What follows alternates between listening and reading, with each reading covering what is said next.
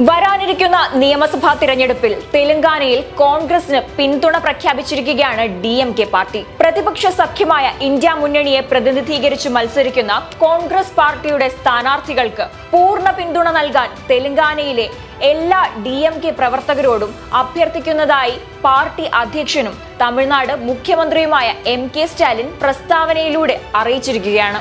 November മുപ്പതിന് നടക്കുന്ന രണ്ടായിരത്തി ഇരുപത്തി മൂന്നിലെ തെലങ്കാന സംസ്ഥാന നിയമസഭാ തിരഞ്ഞെടുപ്പിനായി തെലങ്കാനയിലെ എല്ലാ ഡി എം കെ പ്രവർത്തകരോടും കേഡറുകളോടും തിരഞ്ഞെടുപ്പ് വർക്കിംഗ് കമ്മിറ്റി രൂപീകരിക്കാനും ഇന്ത്യ സഖ്യത്തിന്റെ ഭാഗമായ കോൺഗ്രസിന് വലിയ വിജയം ഉറപ്പാക്കാൻ കോൺഗ്രസ് പാർട്ടിയുമായി ചേർന്ന് പ്രവർത്തിക്കാനും ആവശ്യപ്പെടുന്നു എന്ന് എം കെ സ്റ്റാലിൻ പ്രസ്താവനയിലൂടെ പറയുന്നു.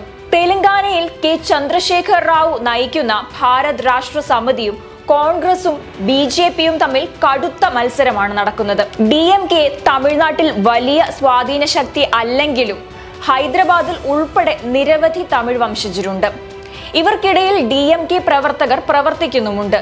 ചെറുതല്ലെങ്കിലും ശക്തമായ ത്രികോണ മത്സരം നടക്കുന്ന മണ്ഡലങ്ങളിൽ ഈ പിന്തുണ കോൺഗ്രസിന് നിർണായകമായി മാറുമെന്നത് ഉറപ്പാണ്.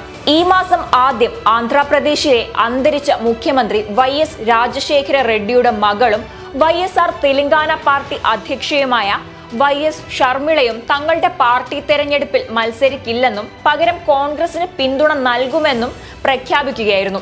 കോൺഗ്രസിന് അനുകൂലമാകുന്ന വോട്ടുകൾ ഭിന്നിക്കുന്നത് ഒഴിവാക്കാനാണ് ഇത്തരം ഒരു തീരുമാനം എടുക്കുന്നതെന്നും അവർ വ്യക്തമാക്കിയിട്ടുണ്ട്. ആന്ധ്രാപ്രദേശ് മുഖ്യമന്ത്രി വൈ എസ് ജഗൻമോഹൻ റെഡ്ഡിയുടെ ഇളയ സഹോദരിയായ ഷർമിളയെ തിരഞ്ഞെടുപ്പിന് മുന്നോടിയായി കോൺഗ്രസിൽ എത്തിക്കാനുള്ള ശ്രമം നടന്നിരുന്നുവെങ്കിലും ചർച്ചകൾ ഫലം കാണാതെ പോവുകയായിരുന്നു. കർണാടക നിയമസഭാ തിരഞ്ഞെടുപ്പിലെ കോൺഗ്രസിന്റെ കൂറ്റൻ വിജയത്തിന് പിന്നാലെയാണ് ഷർമിളയുടെ പാർട്ടി കോൺഗ്രസിൽ ലയിക്കുമെന്ന ചർച്ചകളും ശക്തമായിരുന്നത്. നൂറ്റി പത്തൊൻപതംഗ തെലങ്കാന നിയമസഭയിലേക്കുള്ള വോട്ടെടുപ്പ് നവംബർ മുപ്പതിന് നടക്കും. വോട്ടെണ്ണൽ മറ്റ് നാല് സംസ്ഥാനങ്ങൾക്കൊപ്പം ഡിസംബർ മൂന്നിന് ആയിരിക്കും.